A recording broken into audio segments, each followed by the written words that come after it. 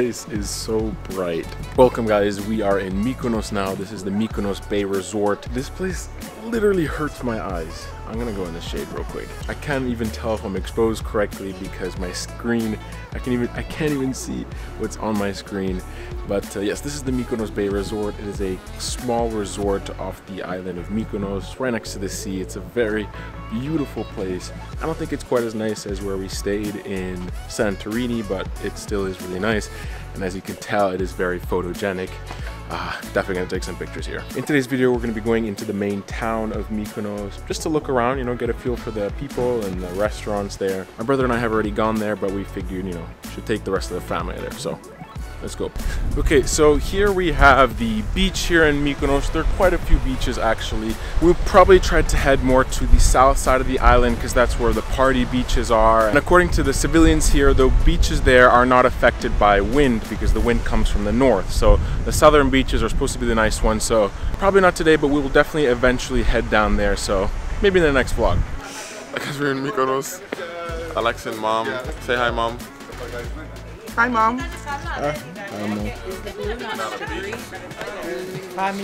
Okay, so we've entered the main town of Mykonos. Here are some famous uh, windmills, supposedly. They're, I guess, a famous landmark here in Mykonos. For me, there's nothing really special, but uh, yeah, I guess some information.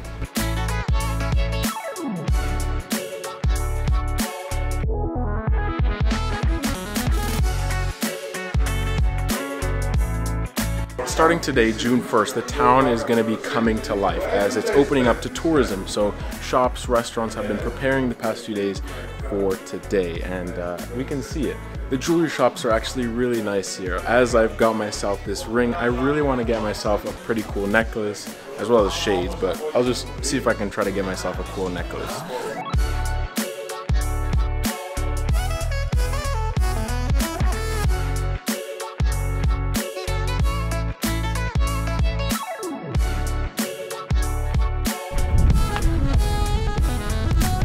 One thing obviously this city really has is it's very photogenic. There are a bunch of just plain white walls which just look fantastic for photography.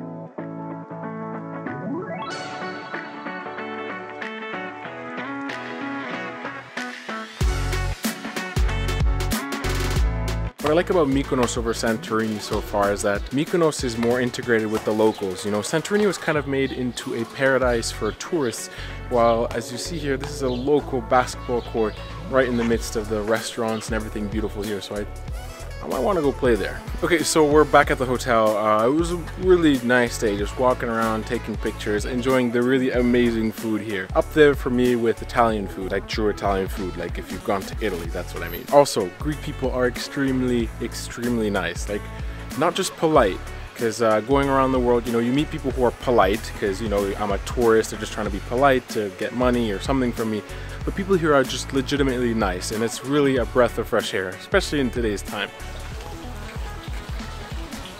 Damn, bro. That water looks like glass, man. Doesn't it? Doesn't that water look like glass?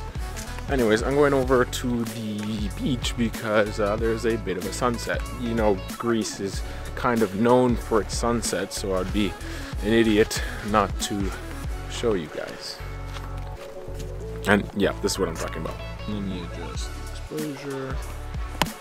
That is what I'm talking about. And that is not even, I don't even know if the camera can show you how awesome that actually looks. It actually just looks amazing. I think I'm gonna try to take a picture of it with the 100 to 400 mil just to get some really cool compression down there. I'll try to also make some TikToks with it, uh, so definitely go uh, follow me on TikTok, whatever. Let me just take a picture, you know, with my phone Because I always take pictures with my expensive ass camera and people are like, oh yeah, obviously it's gonna look good with your 3000, 4000. What? Sorry, my brother is looking at me. I was just gonna look good with my $3,000, 4000 dollar camera, so let's take it with the iPhone 12.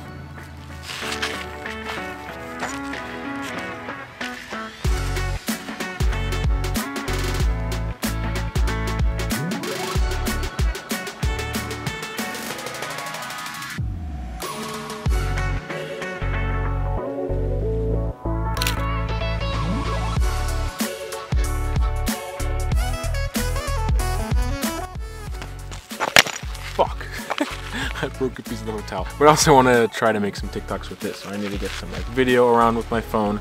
And then I'm going to take a shot with the 100 to 400 as I said. The 100 to 400 millimeters is starting to become probably my favorite lens right now. I use the 16 to 35, this one on the camera always for vlogging and all that. But for photography, the 100 to 400 just beautiful, especially because I can crop the sensor uh, by 1.6, which turns it to like a 600 plus millimeter lens. Let me show you some examples. Oh my god, guys, this is what I see.